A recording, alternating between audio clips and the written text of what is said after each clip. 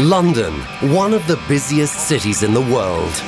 Here, every day, almost 1 million people are using buses, trains, and undergrounds. But this year, change is coming to the UK's capital. In summer 2012, the world's largest solar bridge is to be opened, powered by Panasonic.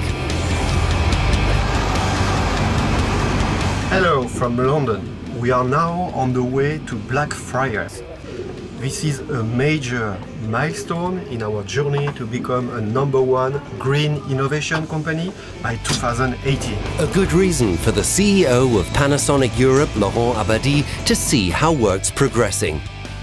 That's very impressive. It is, yeah. A lot better than the old one. In this project, Panasonic is partnering Network Rail, who manage the UK rail network, which handles 1.3 billion customer journeys a year.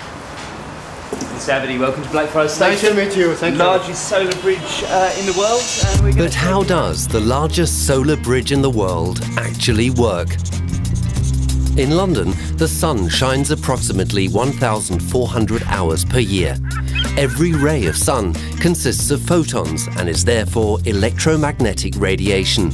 Our solar panels consist of silicium, which is basically sand, but becomes a plate of three layers after a chemical reaction has taken place.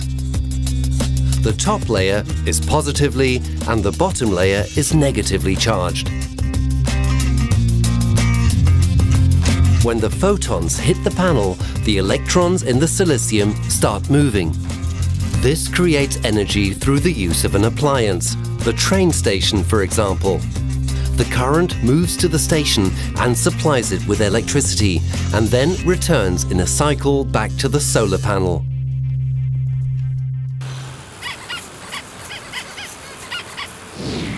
Today, the construction work is still in progress, but already this July, more than 4,400 Panasonic solar panels will start generating enough electricity to cover more than 50% of the station's annual energy consumption. A first step into a green future. Our solar panel technology is really the core to create a green energy. And it's the first time a solar energy project of this dimension is to be integrated into an urban surrounding.